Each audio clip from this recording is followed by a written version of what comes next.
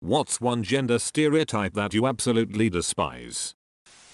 And get boners only when they're horny. No, that shit's pretty much random. I mean, do you think I have control over this thing? If he's hard, he's just gonna be hard. If he's hard when you don't want him to be tense the muscles in your leg, it redirects the blood flow causing him to go limp. People who are really close friends with someone of the opposite sex must be ducking and or dating them. Edit. Thanks for the silver, stranger. Men are always the pursuer. And only men have short hair and women have long hair.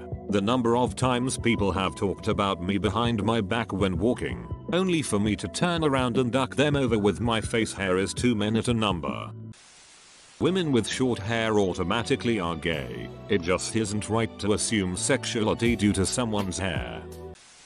That all men care about is sex. No, we don't. I don't give a single shit about sex and never have. Edit for those curious. I'm not asexual. I masturbate all the time. Also, this isn't some boo I can't get laid so I just don't want sex thing. I've just never really had an interest in sex. Never. In my entire life. It's just not appealing to me. Edit 2 I've been told asexuals still masturbate and can feel sexual attraction.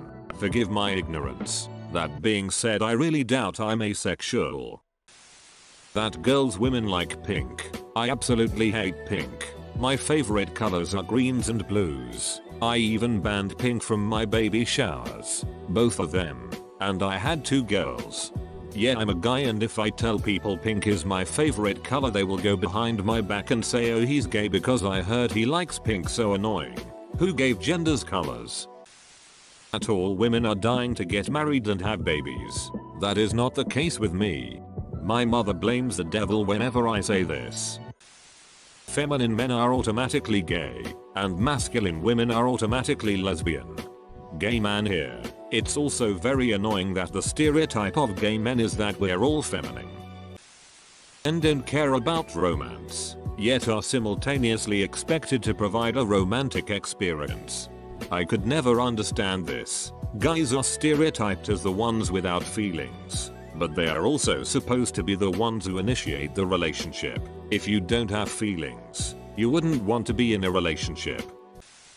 That men shouldn't express feelings and cannot be sexually assaulted. Anyone can be assaulted. It's never acceptable. And everyone has the right to feel things and express that. It's absolutely not something to look down on someone for. If someone trusts you enough to share deep stuff, respect that. Don't be a jerk about it. That all men are good with cars and love driving. I don't know anything about cars. I could change a flat tire. But I couldn't do anything more complicated like changing the brake pads or installing a new stereo. If the garage tried to explain anything in detail when stuff goes wrong, they may as well be talking a foreign language. I didn't learn to drive until I was almost 30, and only because I needed to for work. I don't exactly hate it but, given the choice, I'll let my wife drive everywhere as she does love it. That men aren't allowed to cry or feel show emotion. That stereotype has contributed to many men taking their own life and it's one we need to stop enforcing on future generations. Apparently, it's not very manly to like cats. Duck that. I love those fluffy furballs. Even came up with the idea that women faint at the sight of blood like WTF do you think happens for at least 3 days a month? 3 days? Man, I wish. Clothing.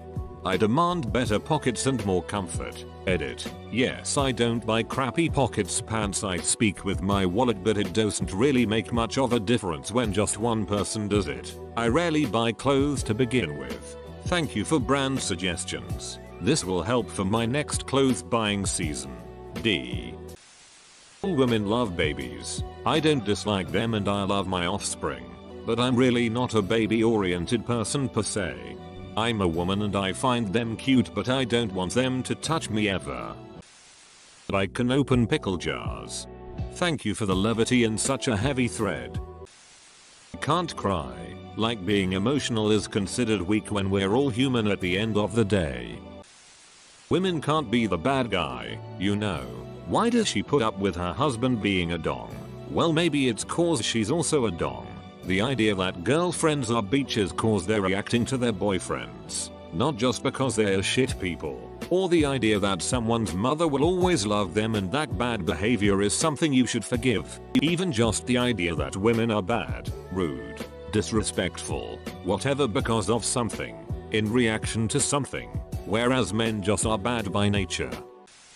Men with no social skills who can't hold a conversation are seen as smart but socially inept. Women with no social skills are dumb and simple minded. I see that sometimes with dating. Sucks as an aspie girl. Men can't be sexually abused or assaulted. And the fact that if they are assaulted there is often no punishment, especially stuff that's verbal and not physical. People can never get their stories straight on whether or not it is okay or not for men to cry. I mean like personally I think it's only okay to cry in public if something horrific happened like you just found out your mom died or you just got shot but in private have at it regardless of reason. Men can't show emotions. You are angry as a woman, you are on your period. I don't get angry on my period. I hate that it's used as a defense like you're only angry at me because you're on your period. It is true that some women get angry on their period but I see it more that what you've done is still wrong but because we're on our period we have less inhibitions about telling you it. Women don't just get angry for no reason because they are on their period. They may get more angry than they would otherwise but it's not like we just get randomly angry. Dads that are alone with their kids are merely babysitting. Best friend is a single dad with sole custody of the child. Mom was charged with child abuse. Some of the things he's been told, the backhanded compliments, are just wrong. And boy don't get him started on changing stations in the men's bathrooms. Women need to know how to cook Clean and keep the house organized cause what would your husband think of you if you don't? All people need to know how to cook and clean because that's what it takes to be a functional human. You need to be able to cook to feed yourself and you need to be able to clean that so that you're not a disgusting slob. Men are providers and women are homemakers. If you're a tomboy or have a strong personality, you must be gay. Oh, definitely that one where women can't abuse men. Bright colored, sparkly toys are for girls. My 4-year son loves that kind of stuff. It's always marketed towards girls. And the little shithead neighbor boy is always making fun of my kid for playing with them.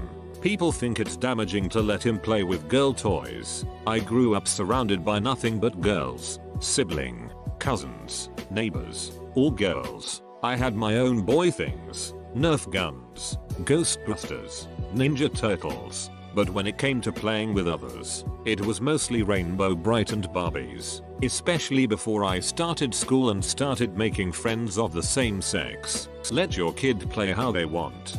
Buy him that dollar that pretty magic wand he wants so bad. It's not hurting anyone and if it brings them joy, don't stand in the way of that. In fact get yourself a pretty magic wand too and show him there is nothing to be ashamed of for liking what you like and having fun in whatever way you see fit.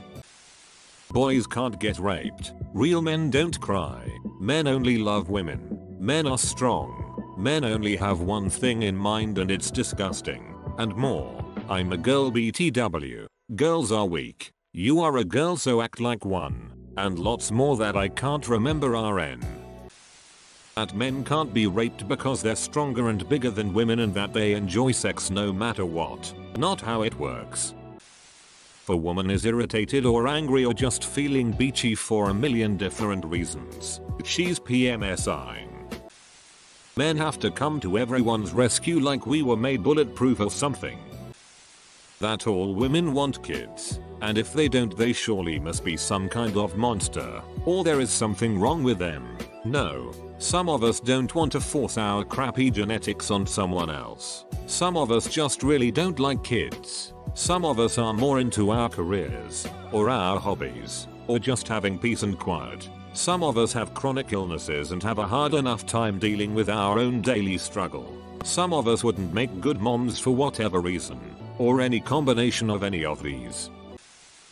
Best comment of the day. One increasingly irritating trend.